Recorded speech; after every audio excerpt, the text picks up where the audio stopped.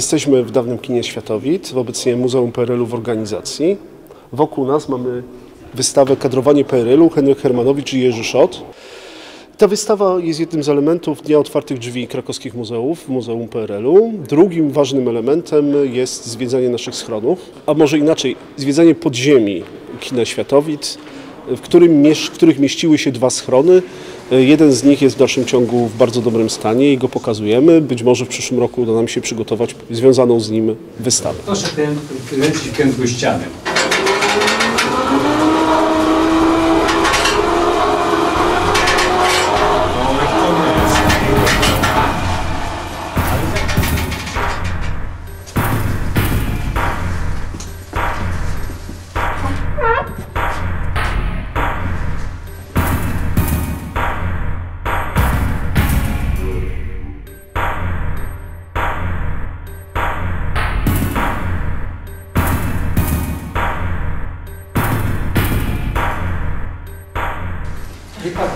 ekonomska trgovina.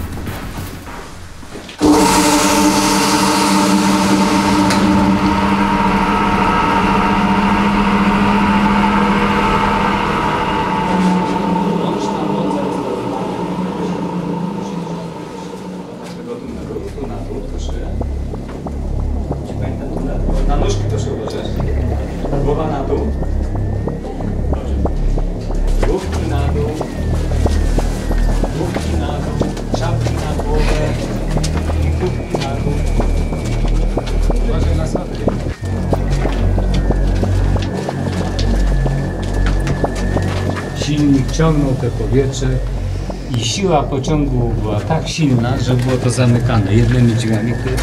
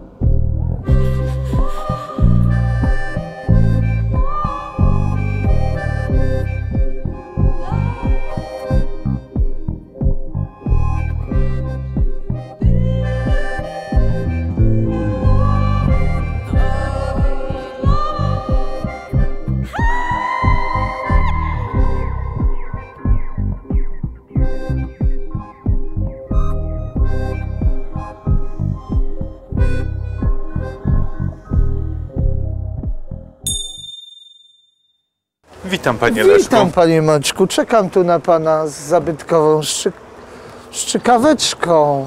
No witam, piękna widzę szklana strzykawka taką jak używano dawniej. Używana od początku XX wieku, a również w latach 50., kiedy otworzono ten Szpital szpital.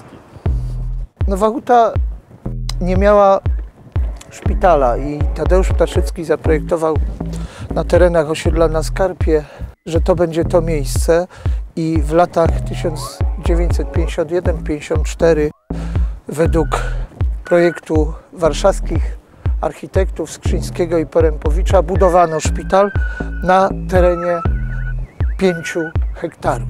W pierwszym etapie wybudowano gmach główny, budynki flankujące i z tamtej strony tak zwaną poliklinikę, gdzie znajdowały się izby przyjęć dla mieszkańców Nowej Huty.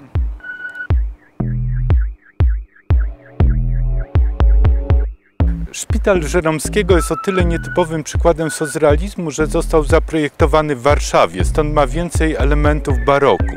Na dachu są bardzo ciekawe lukarny, czyli takie małe okienka.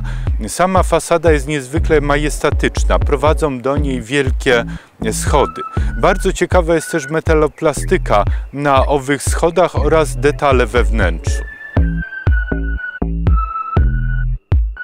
Panie Maczku, za nami znajduje się pomnik patrona szpitala Stefana Żeromskiego, autorstwa profesora Mariana Koniecznego, odsłonięty przez córkę pisarza Monikę Żeromską w 1974 roku. Dlaczego Żeromski? Doktor Judy. Panie Maćku, te budynki są rozlokowane we wspaniałym parku.